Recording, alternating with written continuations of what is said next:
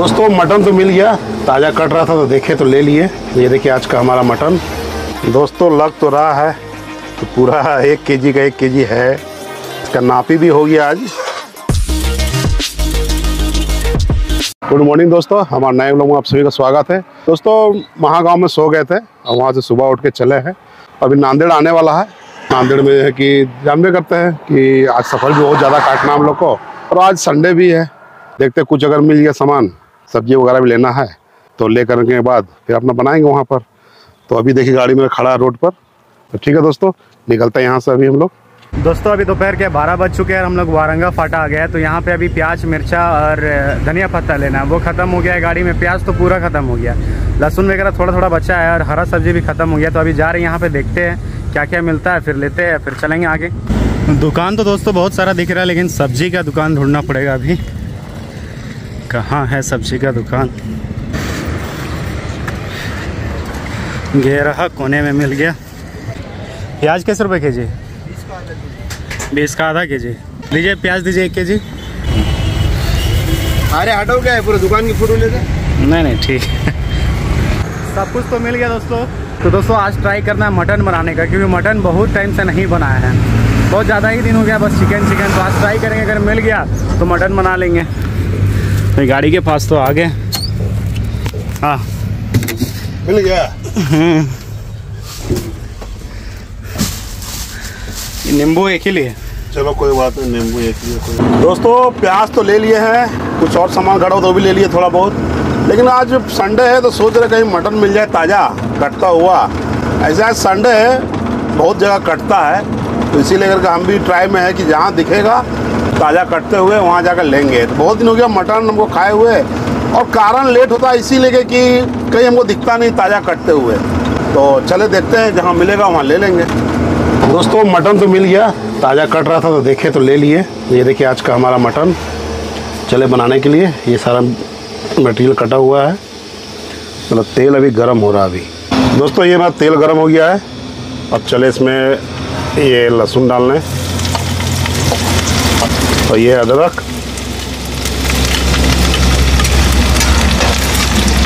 दोस्तों, मेरा ये लहसुन देखिए लाल हो गया है। अब इसमें प्याज डाल देंगे।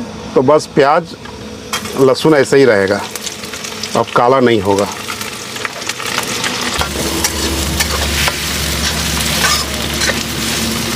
दोस्तों, मेरा प्याज देखिए लाल हो चुका है। और जो थोड़ा बहुत बचा हुआ है, वो अभी इसको भी साथ में भूनेंगे तो हो जाएगा। ठीक है दोस्तों, चले, इसको डालने।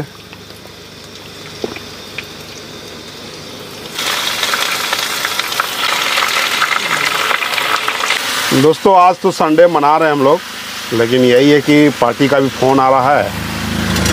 और किसी भी नया रूट में जाते हैं तो एक दिन लेट होता ही है।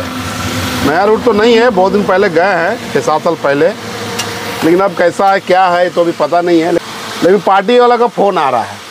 और जब तीन दिन वहाँ खड़े थे फैक्ट्री में तो वह लोडिंग के लिए पार्टी वाला फ़ोन नहीं किया जल्दी लोड करा के भेज दो गाड़ी वाले को। जब लेके हम निकल गए, तब मेरे ऊपर प्रेशर आ रहा है। ट्रांसपोर्टर का फ़ोन आ रहा है। मतलब ये लोग जो है ड्राइवर तो अकेला पड़ जाता है। इसको दस आदमी फ़ोन कर देगा। नहीं, उतना बड़ा फैक्ट्री है। उसको कोई फ़ोन नहीं कर रहा कि हाँ भाई, गाड़ी आया हुआ तो तीन दिन से लोड क्यों नहीं हुआ? लोड करा के जल्दी निकाल दे इमरजेंसी माल है। वहाँ कोई नहीं करता। गाड़ी में लोड होने के बाद ही मतलब ड्राइवर के ऊपर बोधरेशन आ जाता है। कि माल नहीं है, जल्दी पहुंचो जल्दी पहुंचो। तो यही सब है दोस्तों, यही सब थोड़ा सा हम लोग थोड़ा सोचते हैं कि हम लोग भी तो कभी संडे मना लें, लेकिन पार्टी का बोधरेशन आने लगता है, थोड़ा मन ख़राब हो जाता है कि भाई हम लोग भी तो इंसान हैं, हम लोग भी तो कुछ ना कुछ चाहते हैं।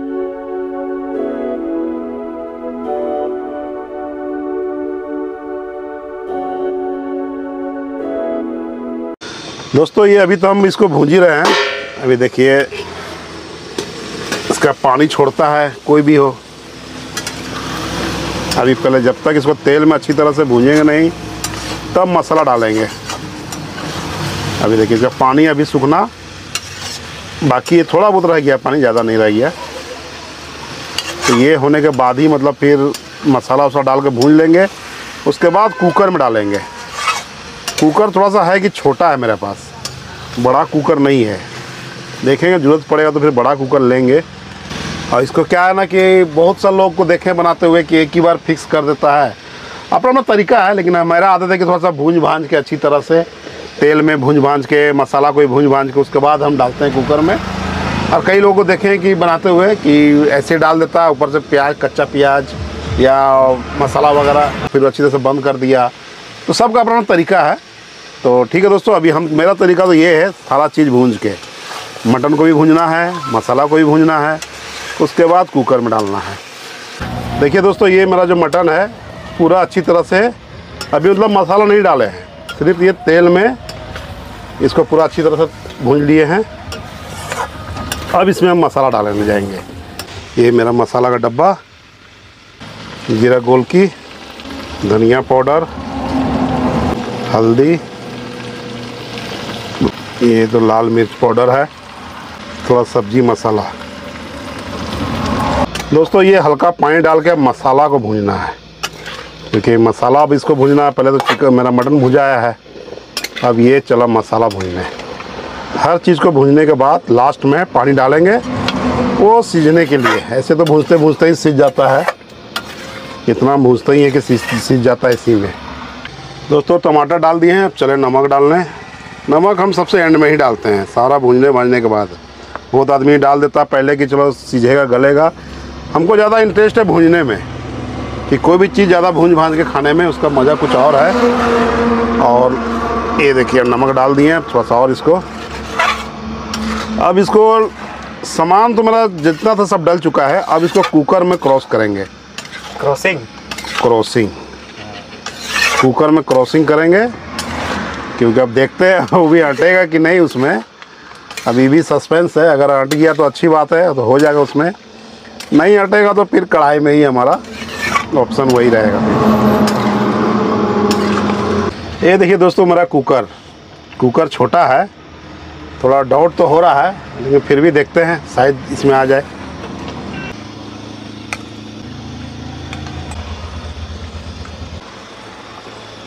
दोस्तों लग तो रहा है कि पूरा एक केजी का एक केजी है।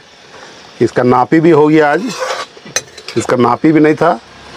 हम कहा, चलो एक केजी कुकर में मतलब इसमें एक केजी बन जाएगा। ये चीज़ तो हो गया पता आज।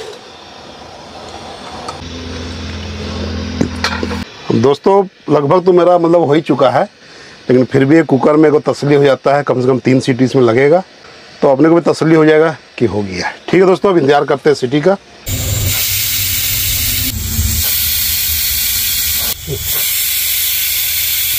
दोस्तों, कुकर का काम ख़त्म हो गया। जो उसका सीटी मारने काम था, वो तो हो गया।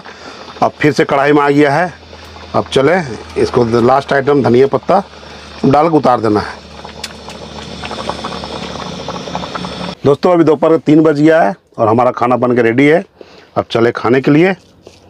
ये देखिए, हमारा आज का संडे मटन के साथ। बहुत अच्छा सा सीजा दोस्तों। देखे भी किया है कुकर में क्रॉसिंग फिर कढ़ाई में क्रॉसिंग थोड़ा समय लगता है, लेकिन अच्छी तरह से बनता भी है। ठीक है दोस्तों, चले खाने।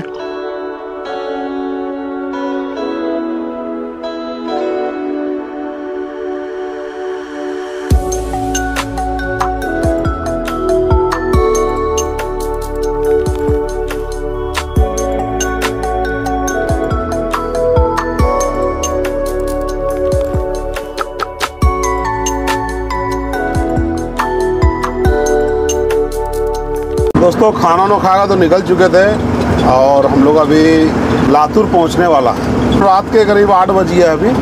और दोस्तों, आप लोगों का कमेंट आ रहा था कि यूरिया के विषय में, कि यूरिया क्या चीज़ होता है। तो दोस्तों, यूरिया ऐसा चीज़ है जो आप लोग देखे होंगे कि पहले का गाड़ी देखते थे, चक्का के पास में सलेंसर रहता था, जो काफ़ी काला धुआँ देता था। काला धुआँ, सफ़ेद धुआँ, आप लोग देखते देखते होंगे पहले गाड़ी। तो अभी बी एस सिक्स गाड़ी है ये सब। तो ये सब में वो सलेंसर आपको नहीं दिखाई देगा। सलेंसर आप देखिएगा साइड में तो कहीं नहीं, नहीं दिखाई देगा। तो यूरिया डाला जाता है इसलिए कि सलेंसर है लेकिन बाहर साइड नहीं है। वहीं पे मड़ोर के किया गया है इंजीनियर लोग है एक से और यूरिया जो है उस पर फायरिंग करता है उस धुएँ पे। उस धुएँ पे यूरिया फायरिंग करता है तो उसको कार्बन बना दे रहा है। जो धुआँ जो है उसको कार्बन बना दे रहा है। कार्बन बना के एक डब्बी में जमा कर दे रहा है उसको। अब हमारा जब सर्विसिंग का टाइम आएगा तो वहाँ से उसको खोल करके वो कार्बन को गिराया जाएगा। वो प्रदूषण जो होता था पहले, आप लोग भी चलते होंगे पहले गाड़ी में देखें। अभी भी बहुत गाड़ी है, जो सलेंसर है, आप पीछे चल रहे तो पूरा काला धुआँ दे रहा है, किसी का सफ़ेद धुआँ दे रहा है। तो उससे क्या कि बीमारी बीमारी होता था। तो उसके लिए इंजीनियर लोग दिमाग लगाया है कि प्रदूषण नहीं होगा तो यही उसका यूरिया काम है दोस्तों। ठीक है दोस्तों, अभी सफ़र काट रहे हैं। अभी लातूर बाज़ार पार करेंगे अभी। दोस्तों, रात के 11 बजे है और अभी हम लोग ओसा मोड़ में हैं। और यहाँ से अभी तुलजापुर करीब 60 किलोमीटर है। सोच रहे तुलजापुर पार कर जाते हैं, सोलापुर वाले रोड पे। वहाँ जाकर सोएँगे कहीं पे, क्योंकि हम लोगों को कल सुबह उधर जाना है तो बॉर्डर भी देखना है दो दो बॉर्डर मिलेगा। महाराष्ट्र बॉर्डर कर्नाटक बॉर्डर ठीक है दोस्तों, खाते हैं अभी इसको। रात का दिन में ही जो बना था, अभी रात में रोटी बना लिए। अपना काम हो गया। तो दोस्तों, दिन का थोड़ा चावल बचा हुआ था तो वो चावल भी थोड़ा सा है। तो चावल वगैरह जो है कि हम बर्बाद नहीं करते हैं सो बच बच जाता है, कभी कदार बचता है। तो रात में मिला जुला खा लेते हैं। ठीक है दोस्तों, चले खाने के लिए। दोस्तों, खाना वाना तो हो गया अपना। अब ये गाड़ी चलाना है।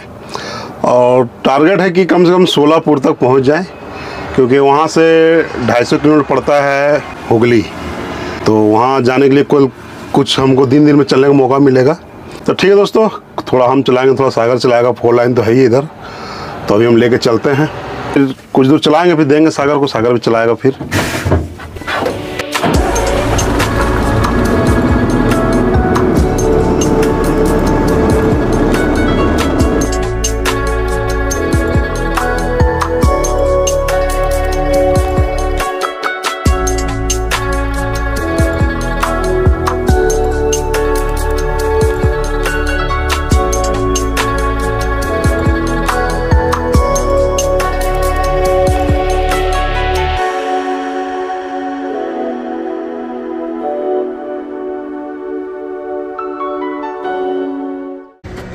रात के दो बज गया है और सोलापुर जो बोले थे, आ गए हैं। ये राजस्थानी ढाबा है। देखिए, पार्किंग में बहुत सा गाड़ी लगा हुआ है। तो यहाँ पर गार्ड वगैरह सब रहता है। तो जहाँ जहाँ सुरक्षित जगह, वहीं तो जाते ही हैं। तो ठीक है दोस्तों, अभी जा रहे हैं सोने के लिए और सुबह उठना भी है फिर पाँच छः बजे, क्योंकि सफ़र भी काटना है। कल हम लोग को पहुँचना किसी तरह। और रात के दो भी बज गया दोस्तों तो थोड़ा देर सो लेंगे, दो तीन घंटा तो नींद पूरा हो जाएगा। ठीक है दोस्तों, इस ब्लॉग को एंड करते हैं। मिलता है नेक्स्ट ब्लॉग में। तो तक लिए और जय हिंद दोस्तों।